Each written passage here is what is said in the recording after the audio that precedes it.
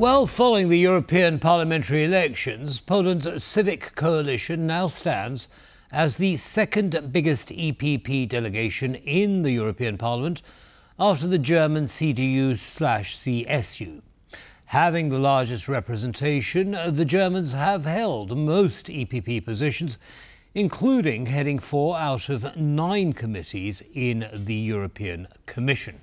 Also, last night over dinner in Brussels, the EU's 27 national leaders discussed who should run the powerful European Commission executive body, who should chair their European Council meetings, and who should take the post of foreign policy chief. Now, joining us right now to talk about the EU is Michał Matlak, policy advisor at European Parliament. Good evening. Thank you very much for joining us. Good evening. So we have a lot to talk about, I would say. However, I would like to start with the recent spat between um, Prime Minister Tusk, Tusk and EPP's president, uh, Mr. Weber. Now, um, like we said, um, the Civic Coalition, right after German, um, German Party, is the largest national delegation in the European People's Party. So it seems logical that they would like to choose their own deputy president. And Prime Minister Tusk did choose that person and was it's supposed to be Andrzej Halicki. However, Mr. Weber disagreed and wants to have Ewa Kopacz, former Prime Minister of Poland, as the uh, deputy president. Now, his argument is this officially, uh, officially Weber's point is that according to the regulations, there must be a sufficient number of women, hence the name of the former Polish Prime Minister. Now, is this a good argument? I mean, shouldn't we look at the merits and what the party as a whole wants um, instead of, um, you know, how many women hold any positions? Uh, above all, I think that it's a it's a real argument. Uh, that that's how these things are seen in Brussels, and people treat uh, uh you know gender equality seriously. So so I think that that's the that the, the real reason. But uh, I I wouldn't speak of a spat. Uh, I think that, that it was a, a genuine kind of a, a, lack of communication, because if I understand correctly, uh, Andrzej Halicki is now the candidate for the EPP uh, vice presidency, and uh, I don't think that this will be a reason of a major conflict between uh, Polish and German delegation within the EPP the, the, rule for sure be negotiations regarding uh, important uh, uh, positions in the European Parliament, uh, especially the, the, the, committees. But uh, I don't think that this uh, um, the, the, events that we are talking about today are an kind of an example of a, of a, of a, of a problem between between both delegations. So it's already resolved. It's resolved. Okay, great. Excellent. Well, that's good to hear. Now, uh, moving on, as you, you, you, mentioned the key posts in, in the EU that yet need to be filled, and we know there was a, a, a closed door uh, meeting uh, between senior EU leaders uh, on Monday. Now, imagine you were a fly on the wall. What do you think might have been discussed? Um, well, we know more or less what, what was discussed. Uh, I mean, not, not all the details, but but uh, uh, most of them. Uh, first of all, we know more or less who are the main candidates. So the Ursula von der Leyen is obviously the candidate for the European Commission presidency. Antonio Costa is the candidate uh, for Socialists for the uh, European Council presidency. Um, von der Leyen, of, of, course, is obviously representing the, the EPP. Uh, Kaja Kallas, the Prime Minister of Estonia, is, is, is candidate of Liberals, the Renew Europe group, uh, for the position of a high representative. So this is clear.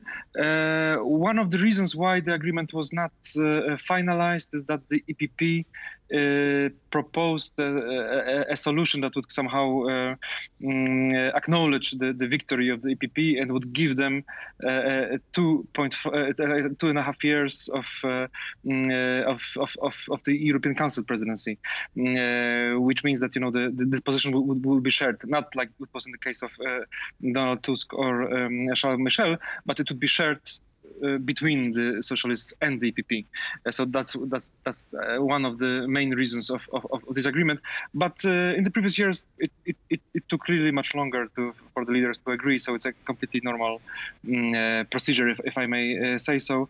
And I, I will see what will happen next week on Thursday and Friday. But I don't expect this to be impossible to solve the, the, mm-hmm. the, these problems. These are, these are normal negotiations.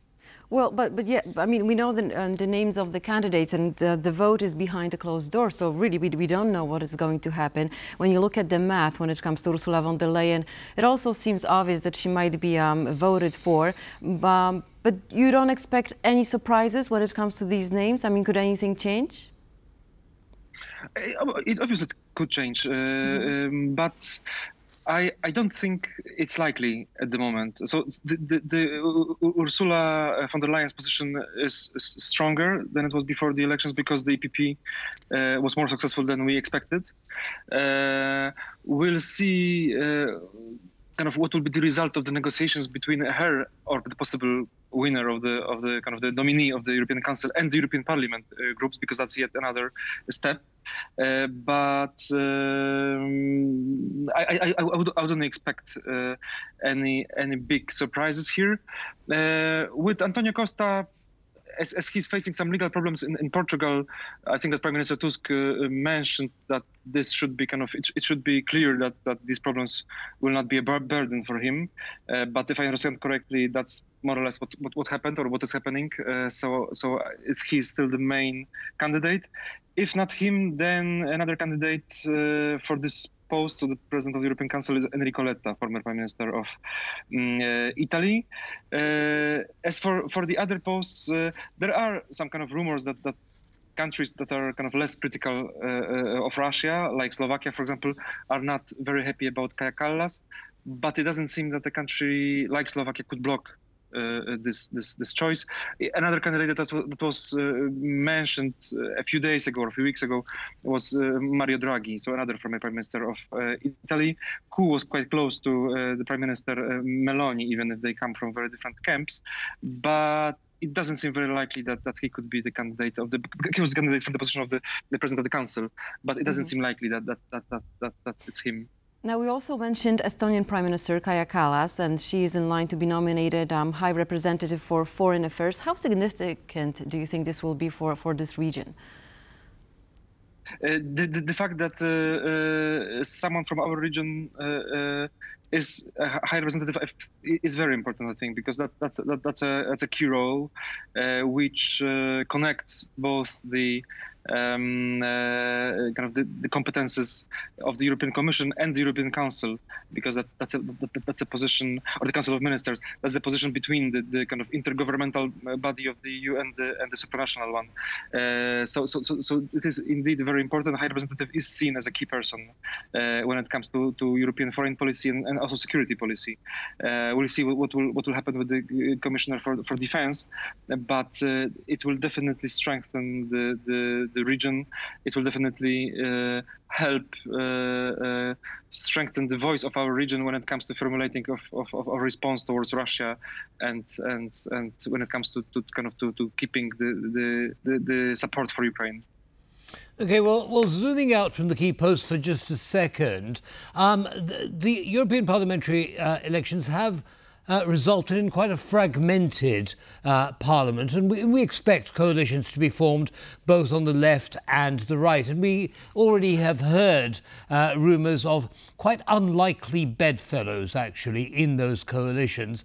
How do you see uh, the, the, the coalitions actually, uh, uh, you know, gelling, becoming becoming permanent, and and are they workable in your opinion? Uh, I mean, there, there are two options when it comes to, to coalitions, I think, in the parliament. Uh, one is the kind of the classical one, meaning meaning the one that we had in the last term. So, so this will be the coalition of uh, uh, uh Renew Europe, the Liberals, the EPP, the biggest party, the center-right party, and the uh, and the Socialists. That's the most likely coalition. They have a majority, so so they don't even need, need Greens there was a fear that they would need another party, but uh, it's not the case. Uh, the other option, uh, which is um, still an imaginary one, because I don't, I, I, don't think there are there are votes, kind of, there are there are enough MEPs to support it, but theoretically it could function. This is the coalition of, of, of the center right with the hard right.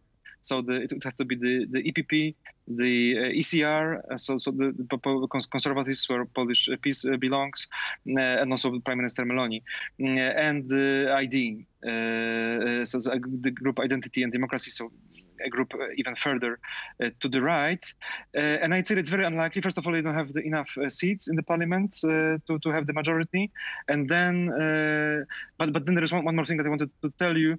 Um, I think that unfortunately this could change uh, if Marine Le Pen uh, wins the election in France, because that, that would strengthen the the role of the of, of the far right. I think that then uh, this this scenario could be reconsidered, although, although, although, although I don't think that it's uh, mm, uh, likely. Uh, the last thing I wanted to mention is that we have to remember that coalitions in the European Parliament are different than coalitions in the uh, in the national politics, because it's true that the, the biggest parties, uh, if they form a coalition, they agree who becomes uh, president of the Parliament uh, for the next uh, uh, two and a half years. but um, for the next five years, but these are two people because the, the term is, is, is cut into two.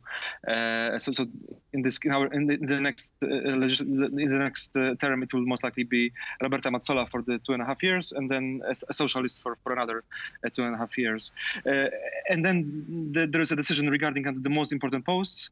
But when it comes to the uh, um, regulations and, and, the, and the votes, we, we we cannot talk about a coalition because every file might have a different majority. So so we might see, uh, as you said, kind of uh, exotic coalitions sometimes uh, behind various uh, files. But that's how that's how it works in, in, the, European Parliament. Right. Okay. Just very quickly, in the last few seconds that we have left, sir. Um, so so are we overall, however the coalitions actually uh, uh, come together? Are we going to see overall a slight shift to the right in EU parliamentary policy? Yes, I think so. Uh, first of all, we already uh, uh, saw that in the last term, and I think that yes, we, the, the, that that's the the, the preferences when it comes to the MEPs uh, uh, changed, not radically, but they changed, and I expect that especially when we when we, when we speak of, of climate and migration, uh, there will be an attempt to to to move uh, to, to, towards the right. I think that these are the most important policies for the right, where they can find allies also in the in the EPP. So I would expect that that yes, on that policy, on these policies, the the, the parliament will shift uh, to the mm -hmm. right. Well, you said exotic coalitions. I think that's something to look forward from the journalist's um, perspective. Absolutely, lots to dig into there. For sure. Uh, Michał Matlak, Policy Advisor at the European Parliament, thank you very much for joining us tonight. Thank you, thank you very much. As you, as you can see, it's, it's, raining in Brussels. I, I didn't even know that. that, that, that well, you should come to Warsaw. It's warm here and dry. uh, yes, exactly, exactly, exactly. So, good night. Good night. Thank, thank you. you.